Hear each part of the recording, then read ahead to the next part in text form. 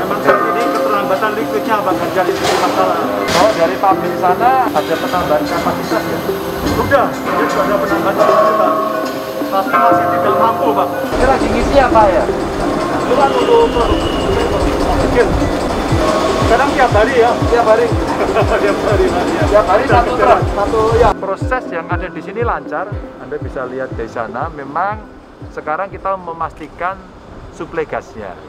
Karena diambil dari Cikarang ya. Ya, sekarang. Dari Cikarang yang biasanya satu minggu hanya tiga kali dikirim, sekarang sudah tiap hari. Nah sekarang yang mesti kita petakan adalah kalau sudah tiap hari masih cukup apa enggak? Kalau kurang mesti kita siapkan. Informasi yang bagus tadi pagi kita sudah mendapatkan eh, apa bantuan tangki ya isotank itu kira-kira 5 untuk Jawa Tengah. Maka kalau itu bisa harapan kita distribusi jauh lebih cepat. Memang dalam kondisi darurat ya terpaksa trackingnya lebih cepat gitu karena tidak ada pipingnya yang bisa dipakai untuk mendistribusikan gas ini.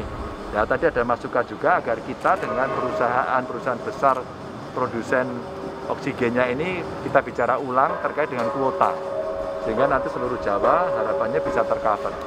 Maka tadi malam saya apa lembagakan ya satgas oksigennya, saya buatin SK khusus. Kalau kemarin langsung bekerja, sekarang saya buatin SK agar kita bisa berkoordinasi antar perusahaan, para distributor, mereka kompak satu kondisi darurat ya, kita akan bisa suplai bareng-bareng. Nah, mudah-mudahan cara-cara ini mulai pelan-pelan kita urai dan di sisi apa hulunya seluruh rumah sakit kita minta untuk melakukan kontrol harian terus nanti kita buatkan sistem mudah-mudahan sistemnya kemis besok mulai bisa dioperasi, dioperasionalkan sehingga kita ngontrol juga jauh lebih cepat.